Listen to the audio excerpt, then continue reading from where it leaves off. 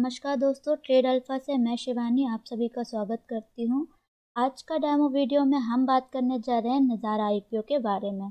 नज़ारा किससे रिलेटेड करता है? Nazara is a leading mobile game company in India जिसकी बिडिंग ऑलरेडी शुरू हो चुकी है। चलिए इसकी बेसिक डिटेल देखते हैं।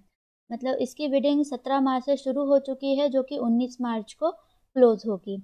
इसका प्राइस बैंड ग्यारह सौ से ग्यारह सौ एक रुपये पर शेयर रखा हुआ है। इशू साइज़ इसका five hundred eighty two point six nine crore rupees है। Face value four rupees per equity share है। मार्केट लॉट इसका थर्टीन शेयर्स का है। थर्टीन इक्विटी शेयर्स का एक लॉट साइज़ है इसका। Maximum bid amount for retail two lakh rupees है इसका।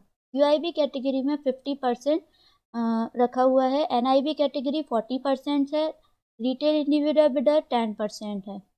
ऑफ़र फॉर सेल 582.91 करोड़ है। और इसको हम एन और बीएससी दोनों से अप्लाई कर सकते हैं। आइए इसका जीएमपी देखते हैं। ग्रे मार्केट प्रीमियम देखते हैं। ग्रे मार्केट प्रीमियम 17 मार्च को इसका आठ सौ साठ रुपये है। मतलब इन परसेंटेज देखा जाए तो 78 परसेंट तो काफ़ी अच्छा परसेंटेज इसका निकल के आ रहा है। चलिए इसका देखते हैं। हम इसका अलॉटमेंट और इसका लिस्टिंग डेट देखते हैं। इसकी बिडिंग स्टार्ट हुई है सत्रह मार्च से और इसका बिडिंग क्लोज होने वाला है उन्नीस मार्च को।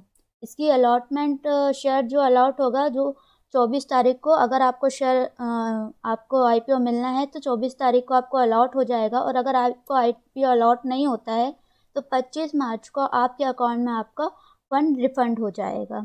और जिनको आईपीओ अलॉट हो रहा है, उनको थर्टीन उनको ट्वेंटी सिक्स मार्च को शेयर्स आपके डीमेट अकाउंट में क्रेडिट कर दिए जाएँगे।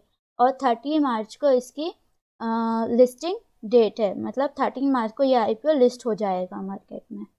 तो अगर आपको हमारी वीडियो पसंद आई हो तो आप हमारे वीडियो को सब्सक्राइब करें।